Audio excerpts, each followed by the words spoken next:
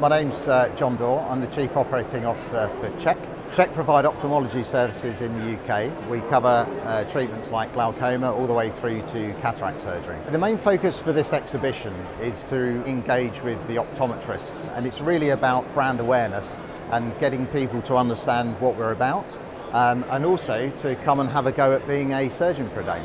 So what we have behind me is a dry lab. Effectively we've got a microscope and a synthetic eye and Imran, who's uh, CHEC's CEO and consultant ophthalmologist, is helping train optometrists to be a consultant ophthalmologist for the day. The process that they're using is a capsulorhexis forceps to form a perfect circle in the capsular capsulorhexis.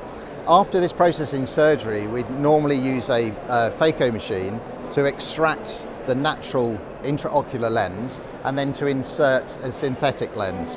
And that essentially is cataract surgery.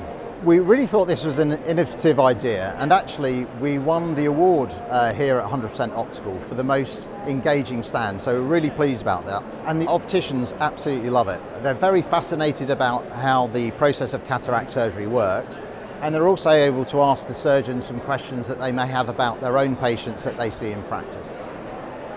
CHEC's unique proposition is that we cover the A to Z of ophthalmology. So whether that's glaucoma, AMD, YAG or cataract surgery, it's really a one-stop shop for optometrists so they have confidence that when they refer their customer or their patient to us, we're able to treat that condition. We only treat NHS patients currently.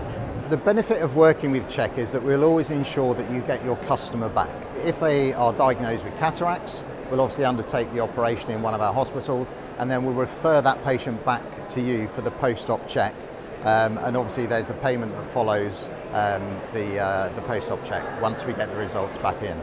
We have a really uh, innovative portal um, so Optoms can work with the technology, it's really easy to use um, and also the payments are made following the post-op.